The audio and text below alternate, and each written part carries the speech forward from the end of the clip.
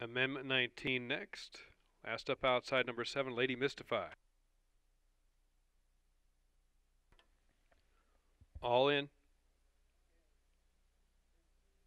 They're off in the Remington Park Oaks.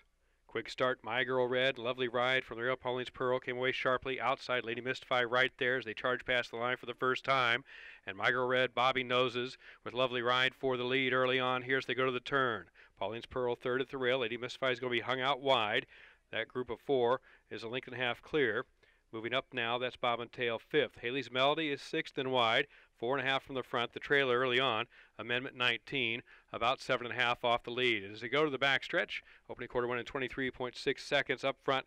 It is My Girl Red showing the way by a half length over Lovely Ride. Lady Mystify now is in third on the outside, only a length and a half back as Pauline's Pearl relaxes fourth, two and a half from the lead with five furlongs to go.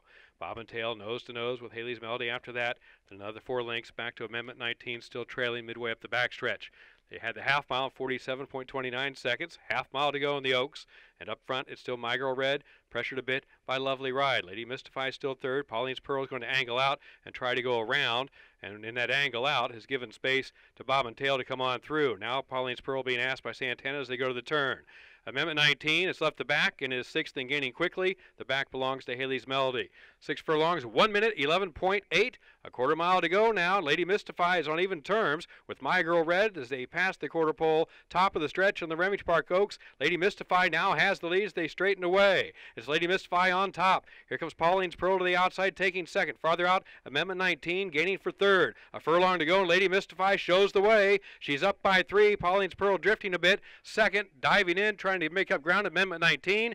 Lady Mystify out by four will take the Remington Park Oaks. Lady Mystify on top.